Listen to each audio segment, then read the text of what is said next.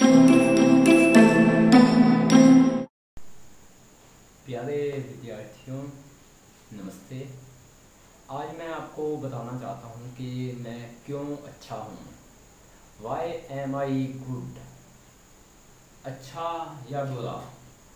Good और bad में से एक व्यक्ति को एक चीज़ बननी पड़ती है। उसमें से मैं क्या हूँ? मैं अच्छा हूँ तो उसके रीज़न हैं कुछ चीज़ें हैं जिससे मैं अच्छा हूँ।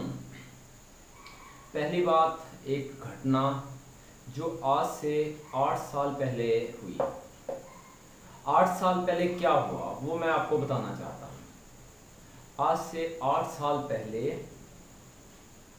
कुछ बच्चों को मैं ट्यूशन पढ़ाता था, अपने ही घर में। तो क्या हुआ कि एक बच्चा जो दसवीं कर चुका था तो उसकी मम्मी के साथ वो मेरे घर में आ गया। पूछा कि क्या करना चाहिए? मैंने कहा, भाई कॉमर्स करा लो।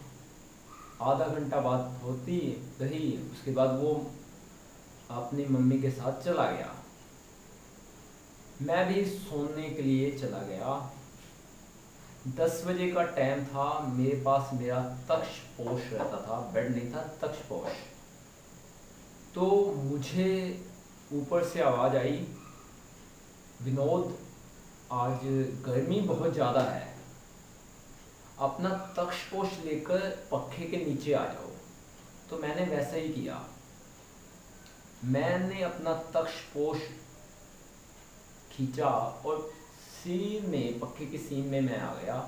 180 का एंगल बन गया मेरे मत्था और उसके पखे का।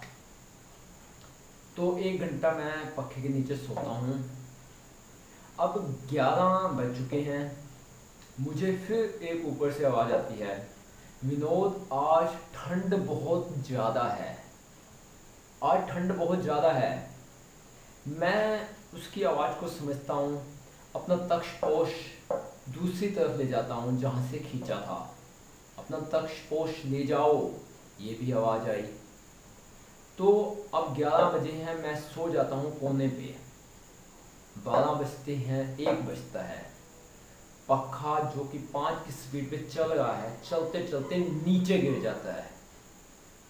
और मैं देखता हूँ देखता हूँ कि पखा नीचे आ गया है।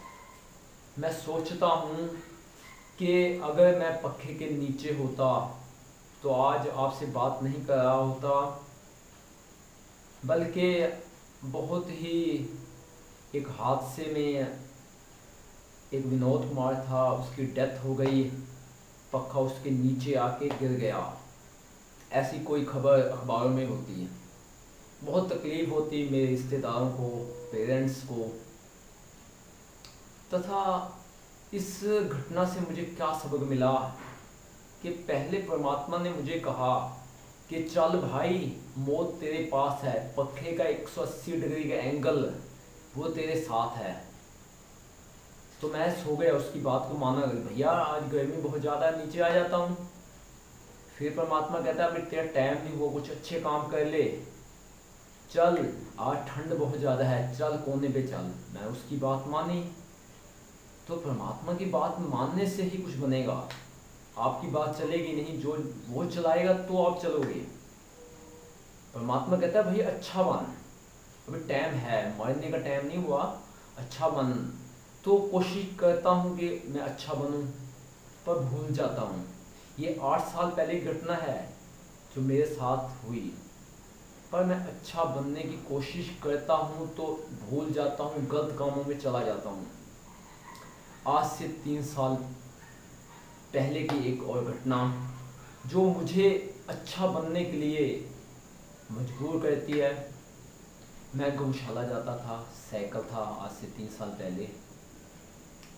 आज तो बाइक है तो गुमों की कुछ सेवा जो भगवान ने दी है, वो करके मैं आ रहा था। हमारे घर के रास्ते में और उस गौशाला के बीच एक रेलवे लाइन है।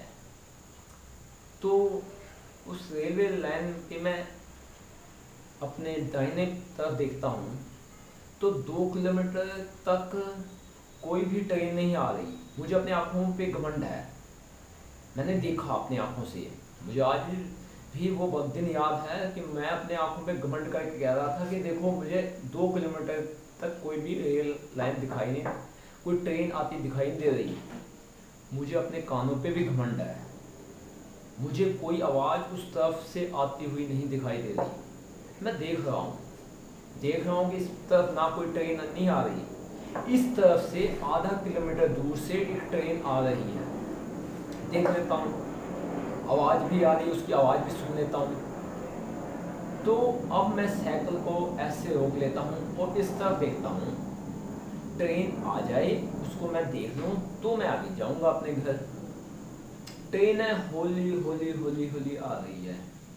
मैं भी खड़ जाता हूँ, दस मिनट बीत जाते हैं। दस मिनट, कितने? दस मिनट। मैं उसको देख रहा हूँ। ट्रेन आएगी, मैं घर जाऊँगा। एक एक ऊपर से एक आवाज़ आती है कि विनोद, क्यों समय व्यर्थ कर रहा है? अपना काम कर, सेवा का काम हो गया, गमों की सेवा था, उसका काम हो गया तो अपना काम कर। मैं बिना डर से इस तरफ़ देखकर अपने घर जा रहा हूँ। यहाँ एक रेलवे लाइन है। उस पिछली तरफ़ जो मेरे बैक साइड में है, एक ट्रेन बहुत ही गति से आ रही है। मैंने उसको देखा नहीं। मैं जैसे ही क्रॉस करता हूँ अपने ही ख्यालों में। जैसे ही एक धक्का आता है हवा का, मैं दूसरी तरफ़ चला जाता हूँ, यहाँ से एक गाड़ी आती है और मैं हिल जाता हूँ। मेरे हाथों में पसीना आ जाता है और मेरे माथे पर भी पसीना आ जाता है। मैं उदास हो जाता हूँ, चेहरा पीला, आँखें लाल, कि ये क्या हो गया? मुझे अपनी आँखों पे घमंड था, पर जो ये कहते थे कि यहाँ गाड़ी नहीं आ रही, ये गाड़ी कैसे आ गई? मुझे अपने कानों पे घमंड था कि यहाँ से कोई आवाज़ नहीं आ रही, वो आवाज़ कैसे आ गई? आज तीन साल बीत गए हैं तो परमात्मा मुझे सिखाना चाहता है कि भाई मौत तेरे पास है, पीछे से गाड़ी आ रही है मौत की, पर तुझे मरना नहीं है, तुझे भयभीत नहीं होना है। तुमने कुछ अच्छे काम करने हैं you have to do some good works तुम्हें अच्छा बनना है। तुम अच्छे के लिए पैदा हुए हो। तो मैंने उसकी आवाज़ को समझा। आज तीन साल हो गए इस घटना को, जब मैं एक ट्रेन से टक्कर होते होते बचा। आठ साल बीत गए थे जब मैं एक पक्के से मौत के घर जाते हुए बचा। अब जस्ट दो महीने पहले की बात है। उसने तो मुझे हिला के ही रख दिया। आज से दो महीने पहले, मैं बाइक पे जा रहा था। बाइक चला रहा था तकरीबन पचास की स्पीड पे। अचानक एक कंपटीटर आ गया यहाँ से। वो बाइक चलाया साठ की। भाई, मैं भी कंपटीशन करूँगा, मैंने भी चला दी बाइक सत्तर की। अब कौन आगे निकलेगा? मैं आगे निकलूँगा कि वो निकलेगा? मैं सत्तर की स्पीड है, वो साठ की है, मैं आगे निकलूँगा। तो मैं चला रहा हूँ। यका यक, अचानक मुझे एक आवाज़ आती है कि भैया पास में दूध की दुकान है, दूध तो पी ले। तो मैं अपनी स्पीड सत्तर से ज़ीरो पे लेके आ जाता हूँ, रोक लेता हूँ अपनी बाइक। अचानक क्या देखता हूँ कि एक आगे से कार आ रही है और जो व्यक्ति मेरे साथ कंपटीशन कर रहा था, वो उसके बीच में टकराता है। उसकी ब्रेकें उसका साथ नहीं देती और उसका इतना भयंकर विस्फोट होता है एक्सीडेंट होता है कि उसकी वही मौत हो जाती है। लोग उसको ले जा रहे हैं किसी हॉस्पिटल में। खूनो खून हो रहा है, उसको बचाने में मैं, मैंने भी मदद की जैसे उसको किसी गाड़ी में उठा के भेजा तो मुझे याद आया कि मुझे एक आवाज़ आई थी कि भैया दूध तो पी है इतनी गर्मी है, ठंडा दूध है, दूध तो पी लेना चाहिए। तो मैं दूध लिए वहाँ चला गया।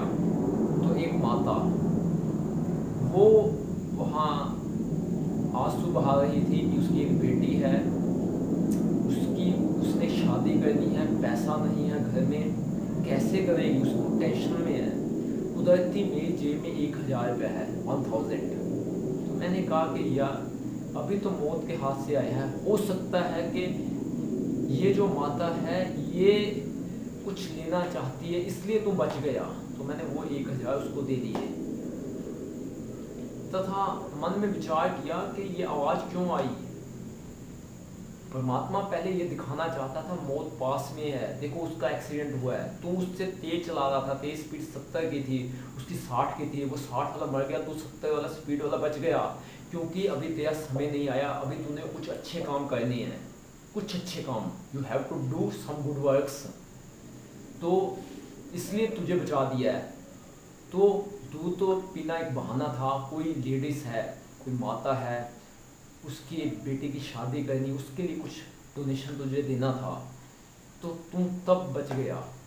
तो ये दो महीने पहले जो एक कार एक्सीडेंट से मैं बचा तो उसने मुझे सिखाया कि भैया दुनिया में कुछ अच्छे काम करके जीना है। बुरे काम करने का कोई फ़ायदा नहीं, मौत बहुत पास में है। अरे, हम तो तिनका हैं, कभी भी हम इस दुनिया से जा सकते हैं। अरे, हम तो बुलबुला हैं, कभी भी इस दुनिया से जा सकते हैं। जब तक कहीं कुछ अच्छे काम करके जाएँ, आठ साल पहले एक पक्के से मरते हुए बचा मैं। तीन साल पहले एक रेल ट्रेन से एक्सीडेंट होते हुए बचा। दो महीने पहले एक कार एक्सीडेंट से बचा। अब भी मैं नहीं सुधरूँगा। इसलिए मैं अच्छा बनने की कोशिश करता हूँ, पर इंसान भूल जाता है। वैसे ही मैं कुछ चीज़ें भूल जाता हूँ। आज इस वीडियो के माध्यम से मैं अपने आप को सिखाने की कोशिश कर रहा हूँ कि विनोद, तुम अच्छा बन जा। तो आपसे भी यही उम्मीद करता हूँ कि अगर आप कुछ गलत काम कर रहे हो तो उसको त्यागिए। कुछ अच्छा काम कीजिए, समाज में बेनिफिट देने वाला काम कीजिए। क्योंकि इस ज़िंदगी का कोई भरोसा नहीं है। कब कहाँ आपका भी एक्सीडेंट हो जाए, फिर आप पछताओगे कि मुझे टाइम नहीं मिला। टाइम आपके पास बहुत है। तो आज से ही हम एक संकल्प लेते हैं कि आज से हम अच्छा काम करेंगे। We have to do some good works बहुत बहुत आपका धन्यवाद। Thank you